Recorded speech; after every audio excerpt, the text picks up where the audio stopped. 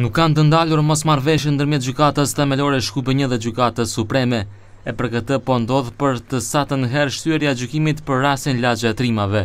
Edhe përkundër asaj që salla e gjykatës supreme u sigurua, avokatët e të akuzuarve, familjarët, gazetarët dhe përfaqësuesit e organizatave joqeveritare nuk hynë në sallë, sepse ata i ndaloi policia gjyqësore e gjykatës supreme. Debati për rastin Lagja e Trimave po shtyhet për shkak se Policia Gjyqësore e Gjykatës Supreme të Maqedonisë ua ndaloi hyrjen në sallë avokatëve të të akuzuarve, anëtarëve të familjeve dhe medieve, me ç'rast nuk u krijuan kushte për mbajtjen e seancës. Nga Gjykata Supreme, në bisedë telefonike për Televizionin njëzet e një, deklaruan se gjykata nuk ka asnjë kompetencë në lidhje me organizimin e rastit Lagja e Trimave, e cila mbahet në sallën e saj. Përderisa të gjithë presin se a do të fillojë dhe kur do të fillojë gjykimi, dy prokurorët, me asistimin e Policisë Gjyqësore të Gjykatës Themelore Shkupi një, përmes korridoreve të Gjykatës Civile Shkupi dy, hynë në sallën e gjykimit. Neve na lejuan të hyjmë, vetëm avokatët dhe familjarët nuk i lejuan. Nuk e di pse nuk i lejuan, duhet të merren vesh me Policinë Gjyqësore të Gjykatës Supreme, ata nuk i lejuan të hyjnë. Edhe pse familjarët dhe avokatët e të akuzuarve në të gjitha mënyrat kërkuan shpjegim, askush nuk erdhi t'iu shpjegojë se pse nuk i lejuan të hyjnë në sallë. S'i vjen turp këtij gjyqi, këtij shteti këtij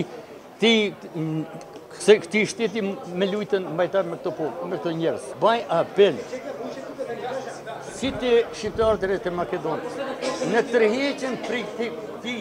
kësaj qeverije, se këto janë hajdukët e popullit, e hangrën, e hangrën popullin, ne të na i lshojnë djemtë se pafaj janë, ne të na i lëshojnë, e t'i burgosin hajdukët çka e kanë vjedh shtetin, Na do të kërkojmë sqarim prej kryetarit gjyqit Shkupi një Shkup. Edhe besoj që do të marrmi një sqarim ma adekuat që